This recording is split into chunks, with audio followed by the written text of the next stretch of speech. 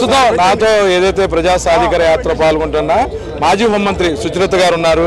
మనం చెప్పండి మొత్తమే కూడా అమరావతిలో చాలా రోజుల తర్వాత వైఎస్ఆర్సీపీ జెండాలు ఎగురుతున్నాయి. అసలు ఎలా ఉంది పరిస్థితి? మేము కూడా పొద్దునుంచి చూస్తున్నాను. ఎక్కడా కూడాను వైఎస్ఆర్సీపీ గ్రాఫ్ అనేది అమరావతిలో పడలేదనిపిస్తుంది. ఎలా ఉంది?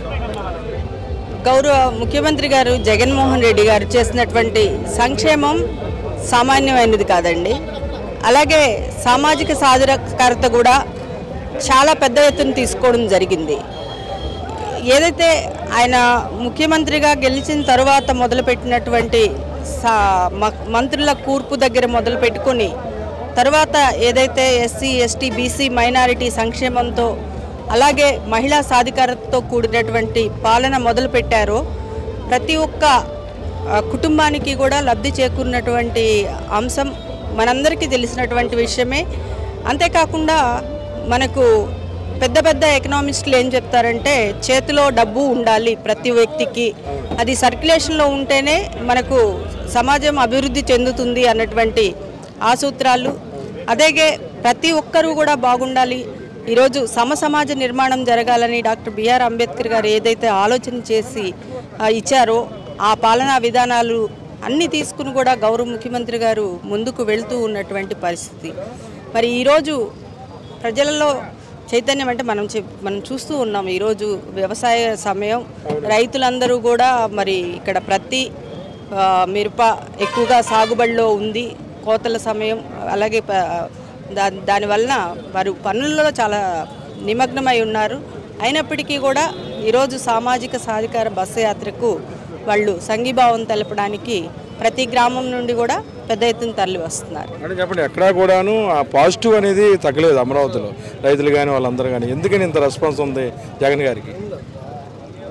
అదే అండి ఒక సంక్షేమ పాలన తీసుకున్న గౌరవ ముఖ్యమంత్రి గారు ఈరోజు దాదాపు అన్ని కుటుంబాలకు అంటే విద్య చూడండి వ్యవసాయం చూడండి వైద్యం చూడండి ప్రతి రంగంలో కూడా ఈరోజు ప్రజలకు అందుబాటులోకి రావడం జరుగుతూ ఉంది. మరి విద్య చూస్తే నాడు నేడు ద్వారా పాఠశాలలు మార్పు తీసుకొనివ్వండి ఈరోజు అమ్మఒడి ఇవ్వండి.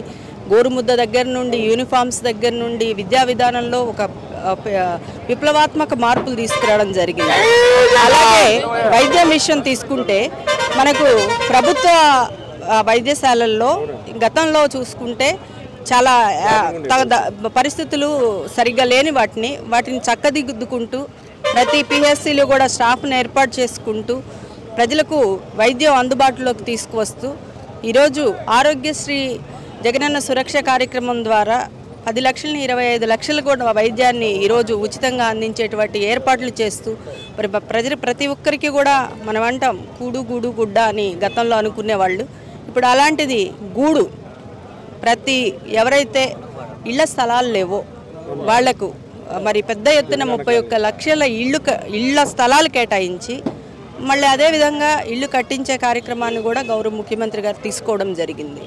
ఇలా అన్ని రంగాలను కూడా ఒక్కొక్క ప్రజలకు ఇప్పటి వరకు అందని సంక్షేమం ఏదైతే ఉందో ఆయన సంక్షేమాన్ని ఉరకలెత్తిస్తూ ఉన్నటువంటి పరిస్థితి ప్రతి కుటుంబానికి కూడా అనుభవమే. సో అవన్నీ కలిసి వచ్చే అంశాలండి ప్రభుత్వానికి. మొత్తమే కూడాను అమరావతిలో వైసీపీ జెండా రెపరెపలు ఏమాత్రం కూడా తగ్గలేదంటే నిదర్శనం. ఈరోజు సాధికారికత బస్సు యాత్ర అని చెప్పొచ్చు. వీడియో జన చూజగస్ కలిసి తాడికొండ నుంచి అబ్దుల్ అలీం ఐటీఎం కోసం.